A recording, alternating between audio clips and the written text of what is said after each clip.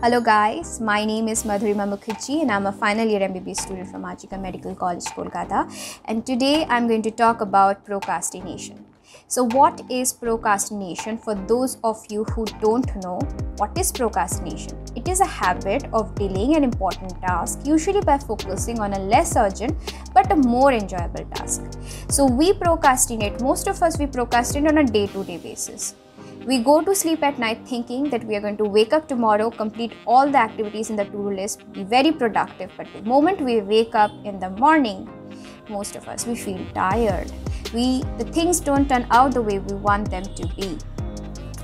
What is the reason behind this? So, the reason behind this behavior is we human beings like to delay the urgent, important, but the relative, apparently more difficult task and do the more the tasks which are easier more enjoyable like watching netflix watching televisions doing social media. Of course playing video games they are more enjoyable and more interesting right? So we always want fun right? So uh, I read this book called Procrastination Equation, which explains the concept of procrastination through the lens of motivation, which means that we tend to do the activities more to which we attach which motivates us more or which uh, for which we have highest motivation. So to explain this fact let me give you an example. Suppose you need to you have to decide between two things whether to study for an upcoming exam in august or to play video games.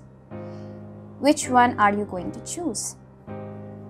So for most of us it's going to be video games right? Because most of us will think the exam is in august I'm going to study one week before exam and right now I'm going to do something which is more fun that is playing video games. But we know playing video games has its consequences. We know that but still we can't resist that impulse, right? So clearly we need to do something to increase our motivation for the things which we don't want to do, which we procrastinate on. So this book has summarized four points which we can follow to achieve what we want. Number one is be confident. Inner confidence, inner belief, self belief that you can do it is the most important, first important, the most important step to start. Because without that inner confidence, you're never going to sit, you're never going to start, and you're never going to be consistent. That is more important. Second is setting a deadline Setting a deadline is important because without visualizing the finishing line, you are never going to start. You are never going to feel like starting or be consistent.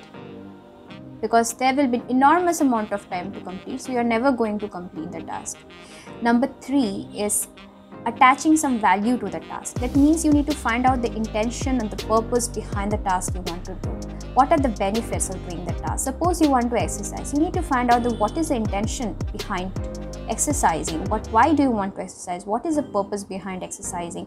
What are the benefits you will gain from exercising? So those are the things you need to ask yourself. And the final is delaying the gratification which is the most difficult and the most but the most important step we need to follow. We need to delay the gratification. We need to delay the reward. We need to complete the task first and then take the reward. It seems i know most of us we can't follow this thing that dealing the gratification but we need to do that. So so this were the four points that we need to follow to uh, that will definitely help us to increase uh, motivation. But apart from this let's uh, discuss some practical tips which can help to increase our efficiency which can help us to be more productive.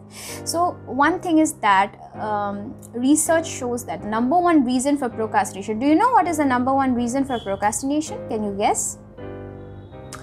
It's being too tired. So, 28% of the people claim that they did not have enough energy to begin the work.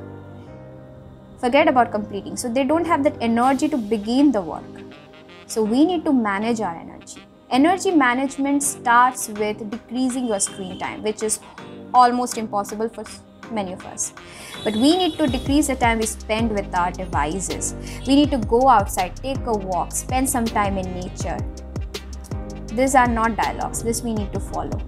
We just can't preach, but we need to practice. So we need to practice. We need to go out, take a walk, spend some time in nature, and spend some time away from our devices second we need to take frequent breaks. Breaks. We need to take frequent breaks. Whether you follow pomodoro technique or whether you follow your own technique i don't care about that but you need to take frequent breaks. You need to, third is that you need to take a nap. So nap of 20 to 25 minutes in the afternoon has proven to improve your retention your memory your energy and your overall well-being now let's talk about priming. So what is priming? So our environment has several cues that trigger us to do or perform a particular behavior. So we can remove those cues to become more productive, right? Something which triggers us to be distracted. Yes, definitely. Our devices again. So uh, first point is that you need to declutter your workspace. So whatever you're wherever you're walking you need to remove those things which distracts you for the time being. Second you need to switch off all your notifications on your phone.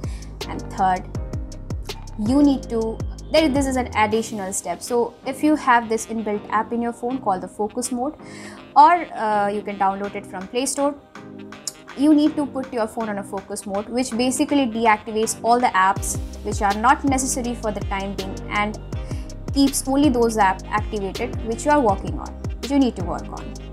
So uh, yeah, believe me this is a very important app uh, on your phone and this will definitely save you some time. And lastly i want to discuss about combination of bitter medicine with sweet honey.